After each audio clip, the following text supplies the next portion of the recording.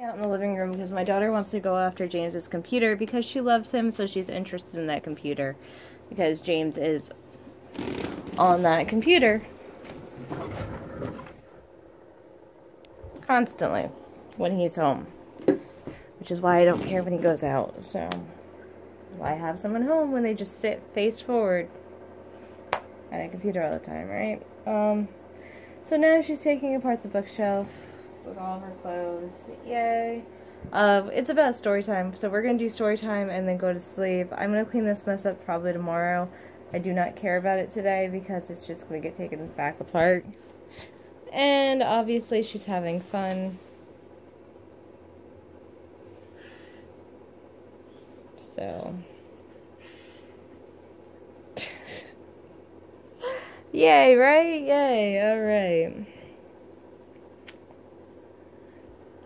Because honestly, this doesn't bother me as much as that goddamn computer is going to bother him. She's in there tapping a brush on it. Like, it's her white, it's a white baby brush. And, like, he's getting flustered and whatever. It's like, she's a baby. She's going to do these things, like, to learn and to grow and develop. And that's what babies do.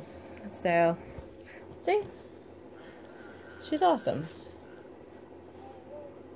So...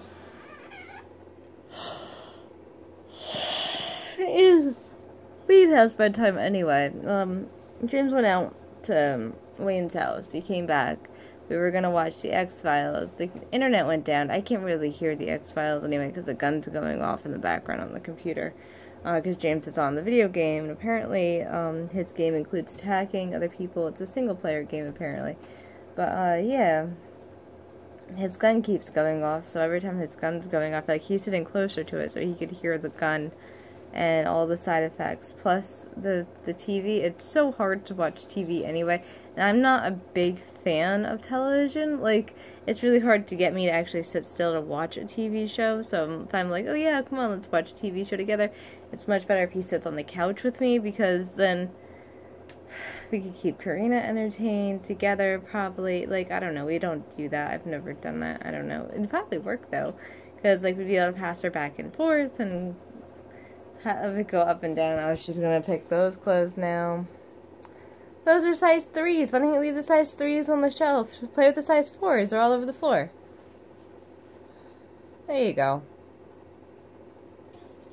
Honestly, I don't even care if she pulls down all the size 3s. I don't care. Um, it's whatever.